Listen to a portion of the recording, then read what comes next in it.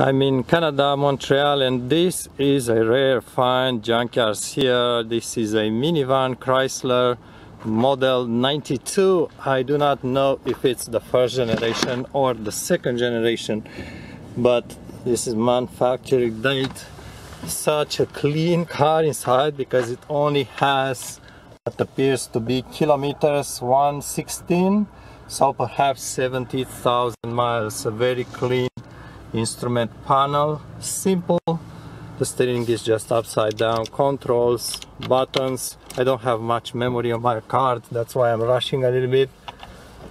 Like this uh, transmission uh, lever by the steering column. Lots of space inside. Plenty of room. Seats are quite up sitting and very very comfortable. Very comfortable and good shape perhaps lacking lumbar a little bit but you sit quite high up. Uh, it's a very comfortable sitting position. Very nice view all around. You can tell the rear of the car is very easy to see. And look at the interior again. This is a very clean car. Very very clean. Uh, I'm not going to say it looks like a new one. It is not that far away from a new example of vehicle.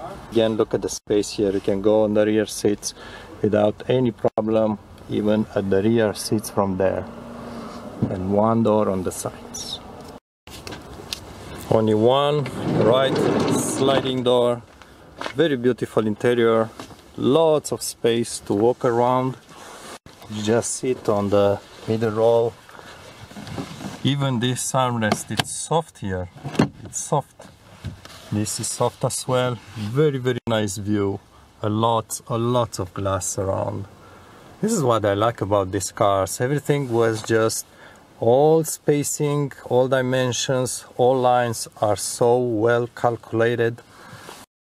I would buy this car today without any hesitation